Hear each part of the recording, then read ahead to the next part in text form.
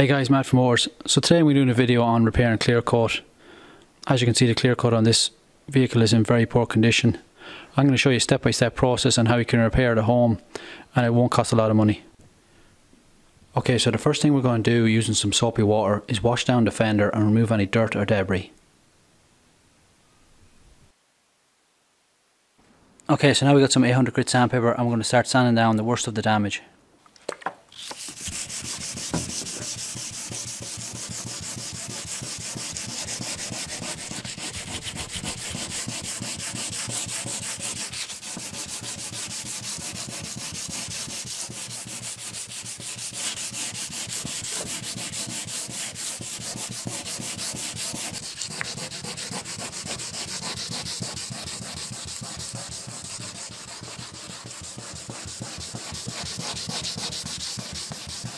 Okay, so as you can see there's still a ridge left behind.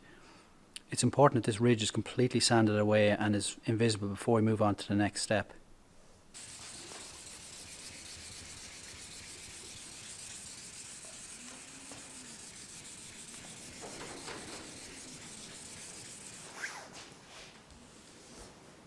Okay, so I'm just rubbing my finger over where the ridge was previously.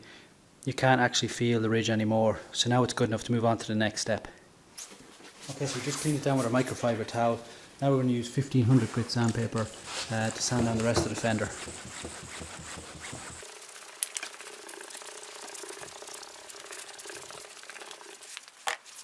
Again, we're going to take our microfiber cloth, we're going to clean down the entire fender. Okay, so you could wait for the fender to dry, but I'm going to use a heat gun there to speed the process up.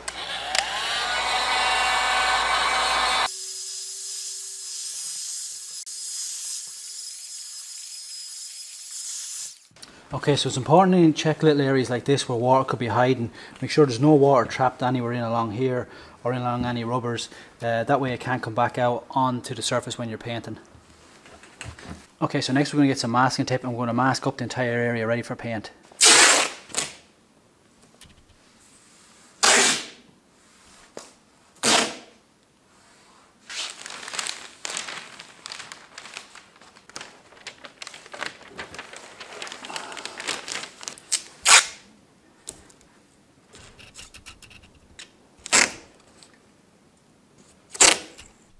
Okay, so the clear coat is so bad on this truck that I've had to get base coat mixed up and also this is the 2K clear coat we'll be using. Sometimes you can get away with just using clear coat and it'll cover a lot of the damage, but in this case mine is so bad that we've had to get the base coat mixed up so it'll be going on before the clear coat.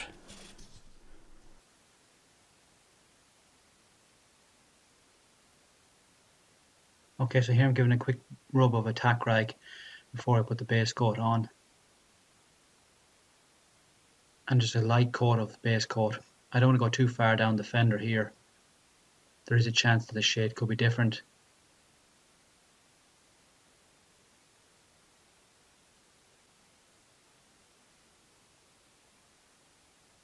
Just getting a heavy enough coat to cover the areas where the clear coat was peeling.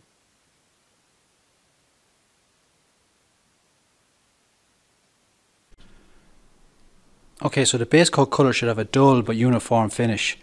Uh, in this case I think it was a wise choice because if we had clear coated only over this I don't think the results would have been good. Okay, so this is the clear coat we're going to be using. Uh, it's a 2K clear, gives a high gloss finish and is extremely scratch resistant. After 24 hours it can be mechanically polished and gives a very tough, superior gloss finish. Okay, so we're going to tack rag the panel down one more time just to make sure no dust has settled on it and then we're going to put on the clear. We're going to put on one light clear coat first and then we're going to wait for about five minutes and put on a second uh, heavier coat.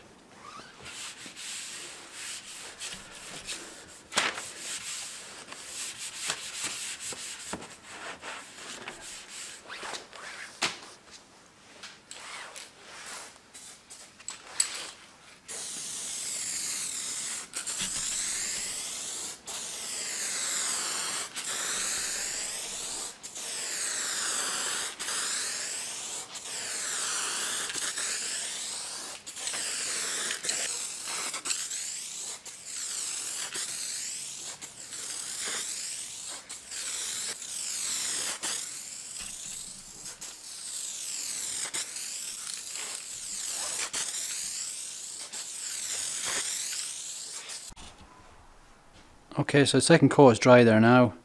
It's a nice deep shine on it and even finish as well. Uh, especially from a spray can, I would say it's pretty, pretty good results. Uh, now it's time to remove the masking and we'll just bring it outside and see what it looks like.